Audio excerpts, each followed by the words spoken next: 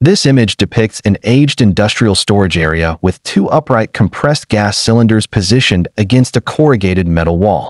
The left cylinder appears greenish and significantly weathered, with visible rust and surface contamination. A brass valve and black control knob are present. The cylinder is observed without protective valve caps or guards, a critical safety lapse. The other cylinder is painted white, though much of the coating has deteriorated, exposing corroded metal surfaces. A thick brown rope is loosely wrapped around the neck area, indicating non-standard securing practices. The cylinder is observed without protective valve caps or guards, a critical safety lapse. The valve assembly is the most vulnerable part of a compressed gas cylinder.